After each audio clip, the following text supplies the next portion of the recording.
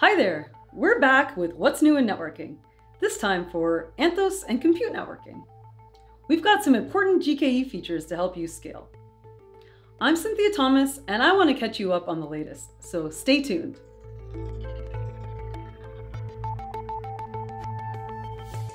We have lots of new updates for GKE to help you scale, as well as compute networking, so let's dive in.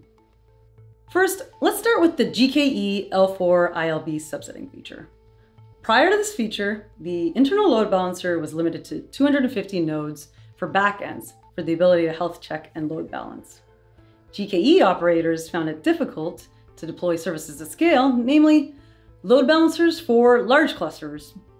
This meant that workarounds had to be explored and additional operational overhead was required. Now, with GKE L4 ILB subsetting, you can deploy large services on clusters beyond the 250 node limit without worrying about any operational overhead. GKE clusters can now scale to thousands without any load balancer networking constraints. Additionally, we removed the constraints on port count usage too. On to the next feature to help you scale GKE deployments, multi-pod CIDRs. I know some of you have mentioned to me or my teammates that you need more flexibility in assigning IP ranges to GKE clusters. Well, we hear you. And we've been implementing features like flexible pod CIDRs per node, the use of non-RFC 1918 addressing, and now we present to you multi-pod CIDRs. I know it can be a struggle with your private IP space, especially those of you coming from already fragmented IP assignments in your environments. We all wish it was easy to find large CIDRs and move workloads to new, larger clusters, but it's not always realistic. Well, multi-pod CIDRs let you grow your clusters by adding node pools with additional subnets, and you'll have the sizing of your choice. Now, you don't have to worry about recreating clusters and migrating the workloads. Just add a node pool with a multi-pod CIDR and you're good. You don't have to worry about having a large contiguous IP block for your Kubernetes pods.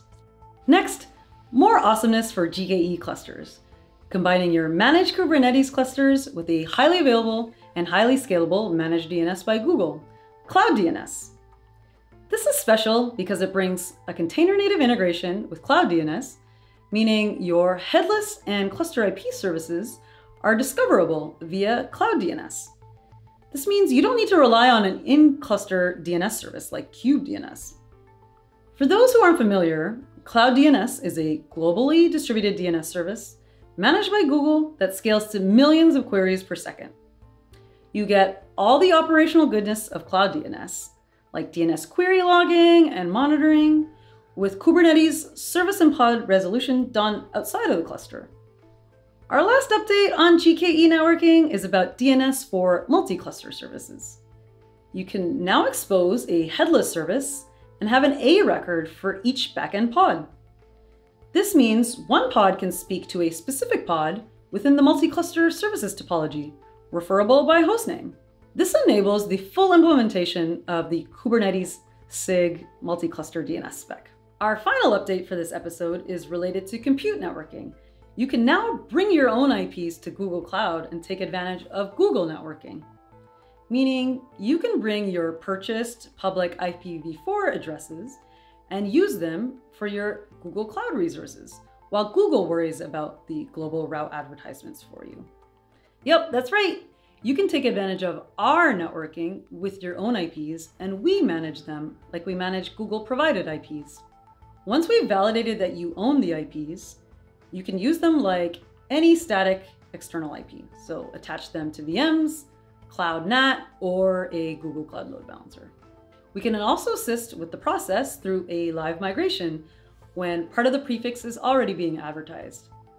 Thanks for joining me today and getting up to date on the GKE features that will help you scale, and for bring your own IP to Google Cloud. You've got the links below in the description, so you can go straight to the docs for these new features and make sure you're subscribed to the Google Cloud Tech page. Thanks for watching What's New in Networking. Till next time!